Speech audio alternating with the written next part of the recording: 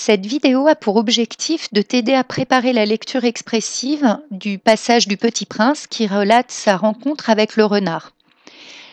Le texte commence véritablement à la ligne 1. Le reste est une présentation de l'éditeur du manuel. C'est alors qu'apparut le renard. Bonjour, dit le renard.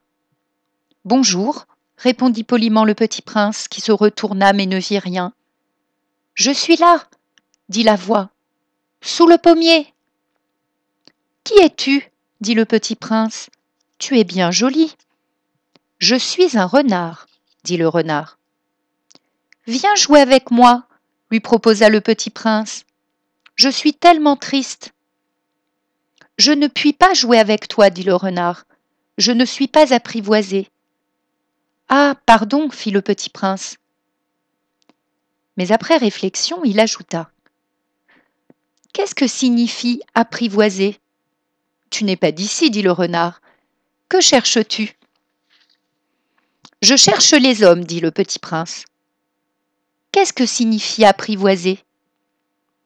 Les hommes, dit le renard, ils ont des fusils et ils chassent. C'est bien gênant. Ils élèvent aussi des poules. C'est leur seul intérêt. Tu cherches des poules? Non, dit le petit prince. Je cherche des amis. Qu'est-ce que signifie apprivoiser? C'est une chose trop oubliée, dit le renard.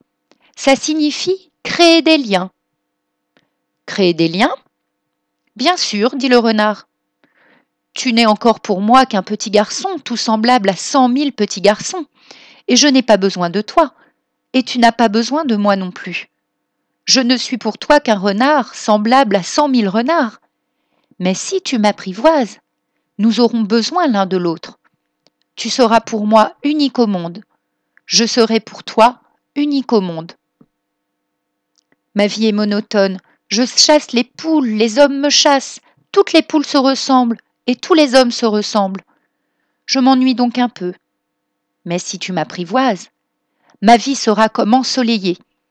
Je connaîtrai un bruit de pas qui sera différent de tous les autres. Les autres pas me font rentrer sous terre. Le tien m'appellera hors du terrier comme une musique. Et puis regarde, tu vois là-bas les champs de blé. Je ne mange pas de pain. Le blé pour moi est inutile. Les champs de blé ne me rappellent rien. Et ça c'est triste. Mais tu as des cheveux couleur d'or. Alors ce sera merveilleux quand tu m'auras apprivoisé. Le blé qui est doré me fera souvenir de toi, et j'aimerai le bruit du vent dans le blé. Le renard se tut et regarda longuement le petit prince. S'il te plaît, apprivoise-moi, dit-il. Je veux bien, répondit le petit prince, mais je n'ai pas beaucoup de temps. J'ai des amis à découvrir et beaucoup de choses à connaître. On ne connaît que les choses que l'on apprivoise, dit le renard. Les hommes n'ont plus le temps de rien connaître. Ils achètent des choses toutes faites chez les marchands. Mais comme il n'existe point de marchands d'amis, les hommes n'ont plus d'amis. Si tu veux un ami, apprivoise-moi. Que faut-il faire dit le petit prince. Il faut être très patient, répondit le renard. Tu t'assoiras d'abord un peu, loin de moi, comme ça, dans l'herbe.